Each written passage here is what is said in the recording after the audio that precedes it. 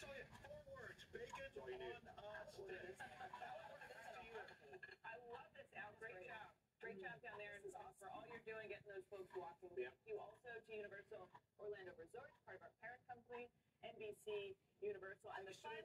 And the fun isn't finished yet. Today, fitness contributor Stephanie Mansour will be with Al later in the show to answer some questions